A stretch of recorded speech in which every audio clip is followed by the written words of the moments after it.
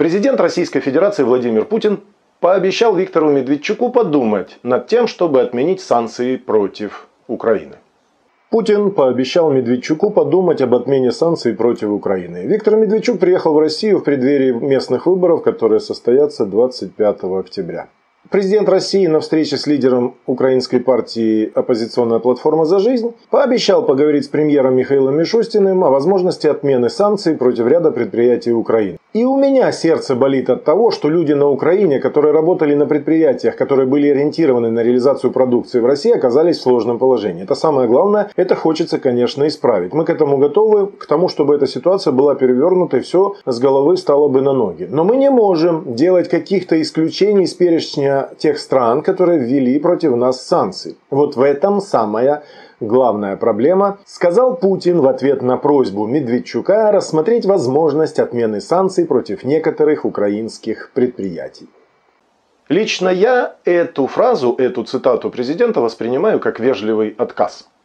Дело в том, что Виктор Медведчук это человек, который достаточно часто ездит о чем-то просить в Российскую Федерацию. Он монополизировал на Украине российскую повестку дня. И вы знаете, по прошествии шести лет после государственного переворота а, это стало походить на то, что украинские олигархи сели на какой-то свой сходняк и договорились о том, что вот этот олигарх будет финансировать националистов, а вот этот олигарх будет финансировать русское плечо. Собственно говоря, Виктор Медведчук, потомственный украинский националист, а мы это знаем со слов самого президента Российской Федерации, он является финансистом и родоначальником русского мира на Украине. Украинский националист является донором русского мира. И таким образом получилось два плеча, которые схлестнулись в смертельной схватке между, по националистическому признаку между украинскими националистами и, наверное, русскими националистами на Украине.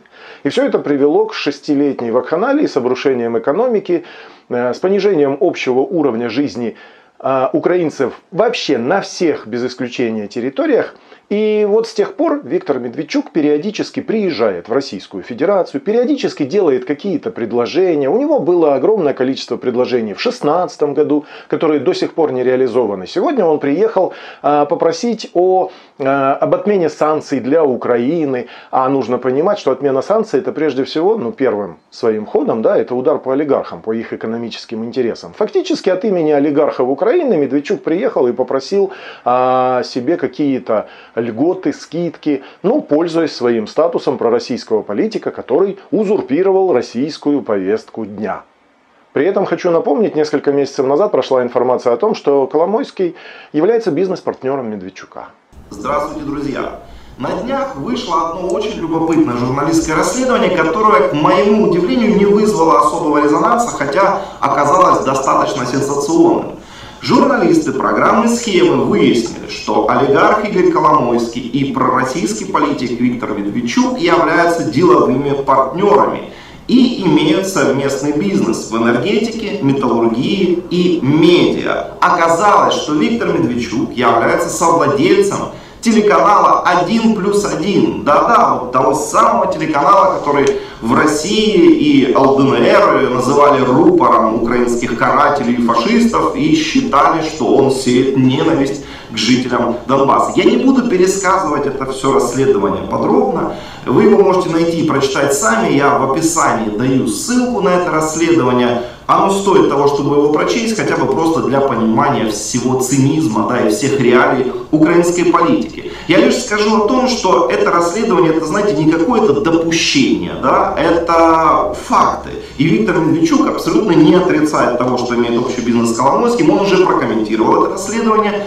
И в ответ на вопрос журналиста, который спросил, ну как же так, вы же вроде там пророссийский политик, Коломойский, ну сами знаете, да, кто для России, а Медведчук ответил буквально следующее. Вы же идеологически разные совсем люди. Ну, вопросы бизнеса есть вопросы бизнеса, причем тут идеологически. Это все настолько прекрасно, что у меня даже нет слов. И на этот счет есть даже прямая речь Медведчука. То есть у него нет принципиальных возражений против того, чтобы общаться с человеком, который финансирует националистов, который, собственно говоря, и разжигает эту войну. То есть Медведчук и Коломойский это бизнес-партнеры, которые на том самом олигархическом сходнике и договорились, кто будет играть какую роль.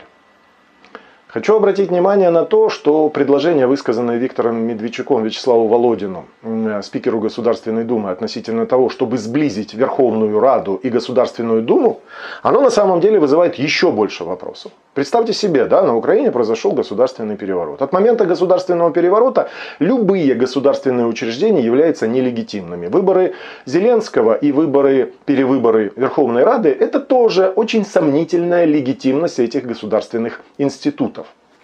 И получается, что поскольку в Верховной Раде находится постмайданная клановая группировка, которая принимает все вот эти законы да, по вопросам русского языка, по вопросам другим, да, которые, собственно говоря, и создают условия для гражданской войны на Украине, вот эта нелегитимная майданная власть, которая засела по факту в Верховной Раде, пришла и устами Колом... Медведчука, я уже даже их путаю, а, обратилась к спикеру Государственной Думы, а давайте мы будем плотнее общаться, а давайте мы будем, ну, как бы налаживать мосты. Вы понимаете, да, о чем идет речь? Это речь идет о том, что незаконная майданная власть, у которой местами руки по локоть в крови, которая повинна в развязывании гражданской войны, и которая по факту, независимо от того, как пойдет история Украины, идут под снос, они предлагают взять и привязать к этому субъекту или объекту, да, Государственную Думу, орган государственной власти, одну из ветвей государственной власти Российской Федерации. Это понижение.